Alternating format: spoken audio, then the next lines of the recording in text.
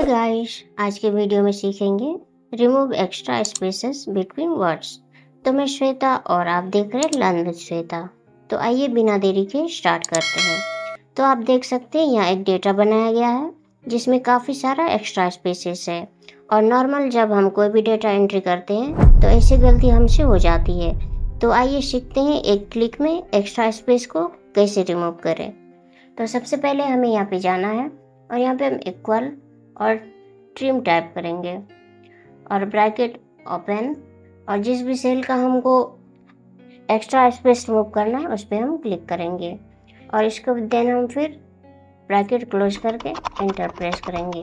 आप देख सकते हैं, इस लाइन के सारे जो एक्स्ट्रा स्पेसेस थे, वो रिमूव हो गए हैं। और इसे हमें एक क्लिक में करने के लिए यहाँ पे हम क्लिक करेंगे और नीचे की ओर ड्रैग करेंगे।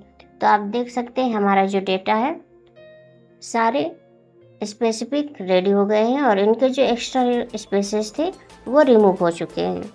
तो आशा करती हूँ, इस वीडियो से आपको ज़रूर कुछ ना कुछ सीखने को मिला हो। तो प्लीज़ वीडियो को लाइक कमेंट शेयर ज़रूर करें।